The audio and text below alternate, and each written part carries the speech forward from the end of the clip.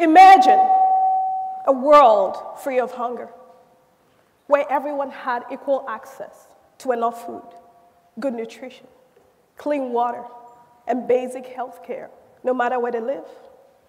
Imagine a world where every child had equal access to good quality education and did not have to worry about learning or going to bed on an empty stomach.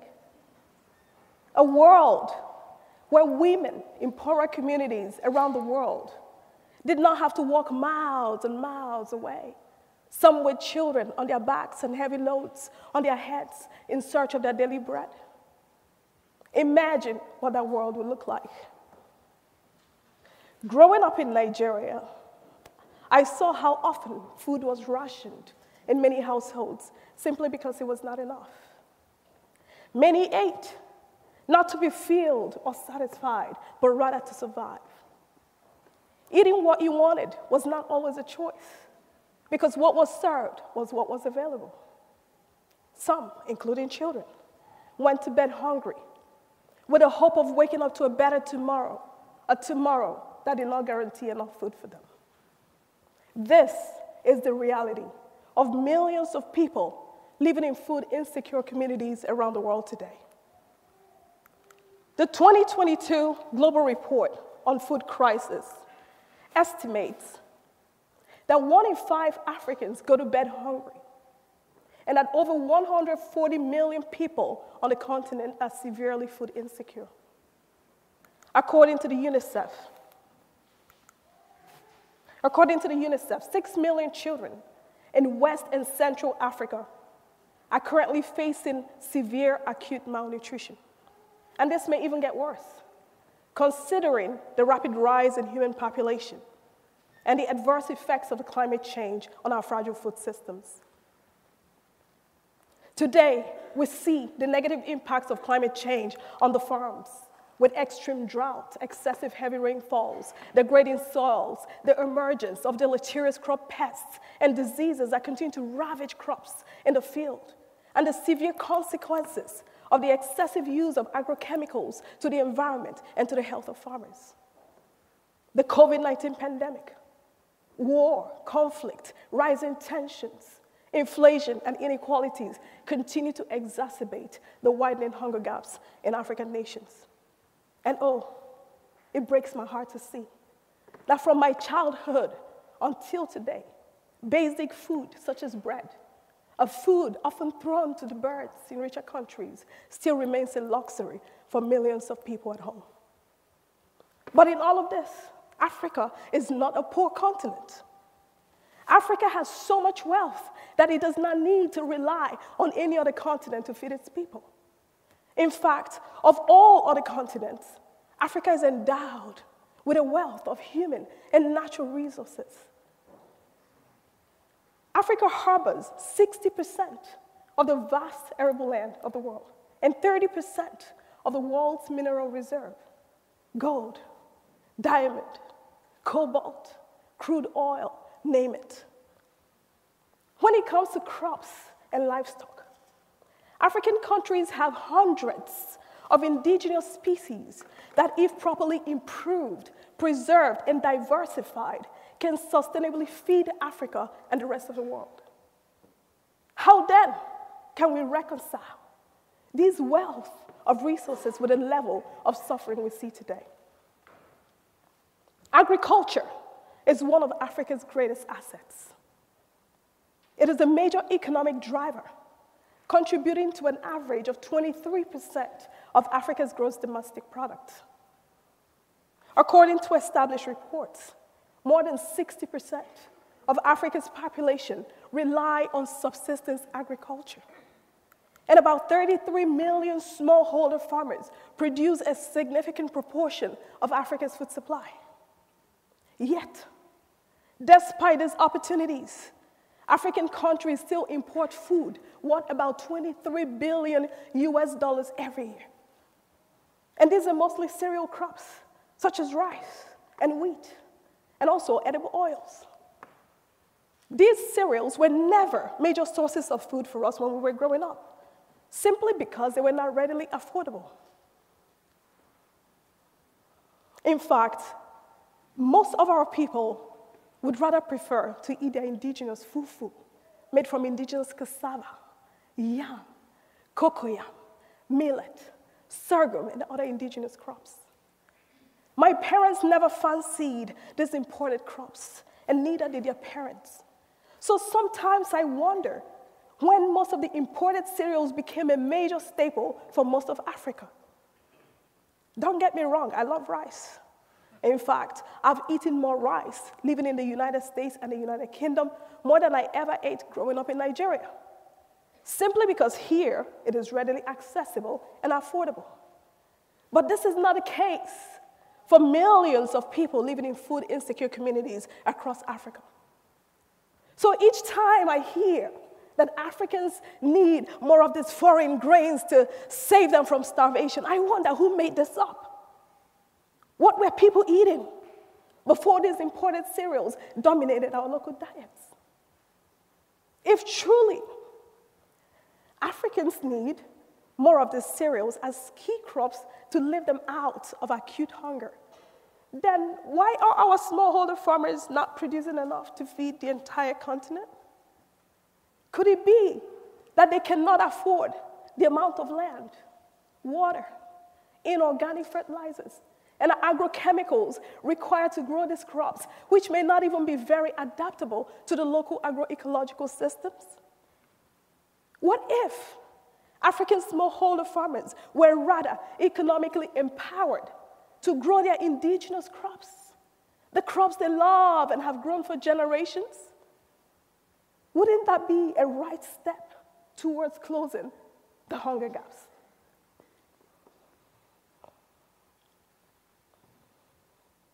Wouldn't that be a right step towards closing the hunger gaps? Excitingly, African indigenous crops represent a large pool of untapped reservoir of nutritional and genetic potential.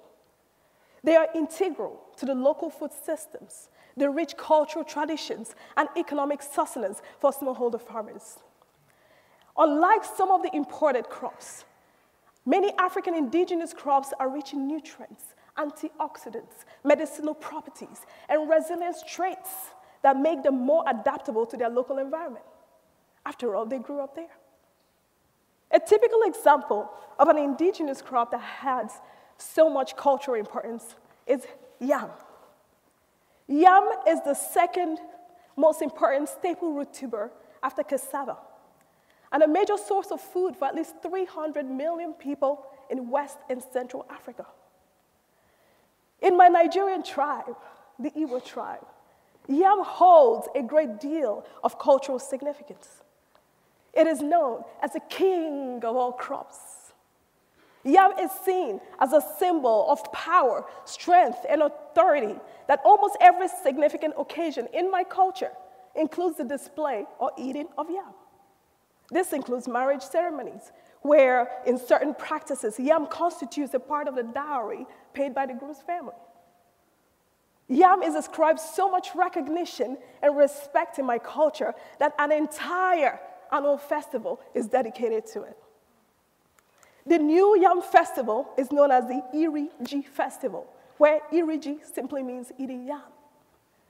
But beyond just eating yam, the Iriji Festival brings together the Igbo people to celebrate and give thanks for the gift of such a great crop. Held annually, not only in Nigeria, but all around the world, the Iriji festival is graced by lots of cultural celebrations, eating, dancing, and more.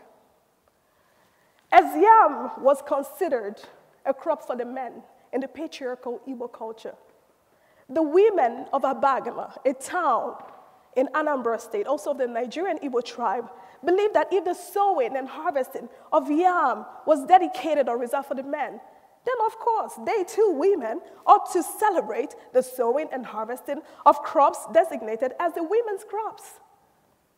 One of such crops is cocoyam, my mother's favorite. Cocoyam is the third most important staple root tuber after cassava and yam, and a major source of livelihood for millions of smallholder farmers, especially women in most of West and Central Africa. No wonder The people of Abagana will come together every December to celebrate an annual cultural festival dedicated to cocoyam. During this festival, the women will bring together some of their harvested cocoyam to the deity in an expression of their joy for its protection and help during the farming season. The festival then takes off with more cultural celebrations, eating, dancing, and more. These are just a few examples of the rich historical traditions linked to African crops, the crops of the people. Yet, despite their deep ancestral ties and their proven nutritional, cultural, and socioeconomic benefits, scientific research to boost the productivity and resilience of these crops, particularly in the face of a looming climate crisis, has been historically hindered. Whereas Western dominated crops, often described as mainstream crops, have attracted billions of dollars in research investment for their continued improvement and diversification. Many indigenous crops are facing a rapid decline, and some even facing extinction due to adverse biological and climate conditions. Unlike the mainstream crops, indigenous crops are described with all sorts of colonial biased terminologies, such as minor crops, abandoned crops, forgotten crops, neglected crops, underutilized crops, lost crops, even orphan crops. Orphan, although these crops still have parents that are living or they wouldn't exist. These colonial bias terminologies diminish the value of these crops to the people who rely on them and further excludes them from funding global funding priorities. After all, words matter, and language can shape perception over time. The big question here today is how can we achieve the United Nations Sustainable Development Goals of ending hunger, malnutrition, and poverty in African nations by 2030 and beyond if African staple crops, the crops of the people, and the people who grow them are not given the full attention they deserve? If we must achieve these goals, then these crops must be recentered into global research and development funding priorities. And by this, I do not mean investing more millions of dollars solely to Western institutions to develop solutions for Africa. Neither does this exclude the African governments from investing in improving their own crops. This simply draws attention to the urgent need for adequate long-term sustainable investments in research and development, as well as in human capacity building, particularly in African research institutions where the next generation of scientists and industry leaders are trained. This also draws attention to the urgent need and the moral obligation to meet the needs of the smallholder farmers who produce a significant proportion of Africa's food supply, but yet in themselves live in extreme poverty.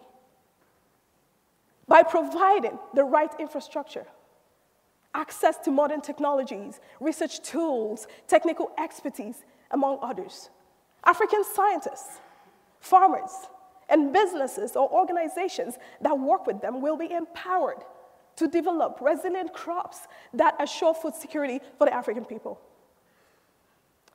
As a plant scientist and founder of the JR Biotek Foundation, my own little contribution has centered around leading efforts aimed at building excellent agricultural research capacity in African research institutions. I set up the JR Biotek Foundation from my experience completing my undergraduate degree in Nigeria and realizing during my first master's degree in the United States that my previous degree did not equip me with relevant practical skills in modern biosciences that I could use to solve local or global problems. Whereas my peers in the US were hundreds of steps ahead, I struggled so much to catch up with very basic knowledge in fundamental molecular biology and modern biosciences. Of course, I was frustrated.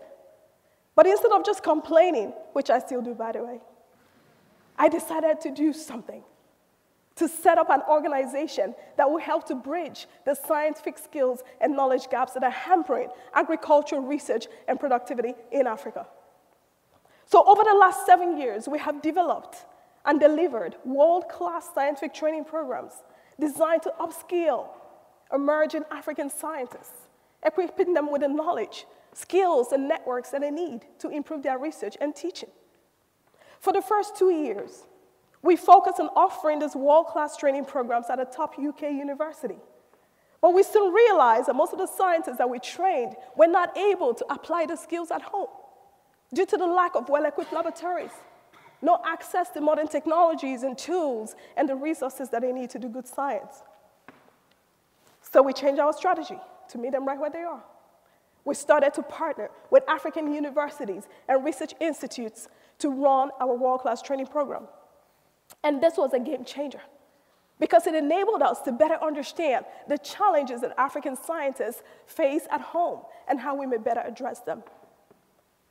To date, we have reached over 3,000 scientists and students in more than 19 African countries through our in-person workshops as well as our online Reach and Teach Science in Africa initiative, which we started during the COVID-19 pandemic. Our alumni continue to train others it's like a ripple effect. The more you train, the more they train. But we're not done yet because there's still a lot of work to be done. And this is why I'm excited about our uh, pioneering new initiative, the Africa Crop Innovation Hub, which seeks to bring together Africa's brilliant scientists, farmers, and institutions to develop groundbreaking solutions that will assure food security for the African people without disregarding indigenous resources knowledge, and practices. This is the game changer. And this gives me hope that collectively we can break the generational cycle of hunger, malnutrition, and extreme poverty. After all, there is no glamour in poverty, and there is no joy in seeing any child or anyone go to bed hungry. Thank you.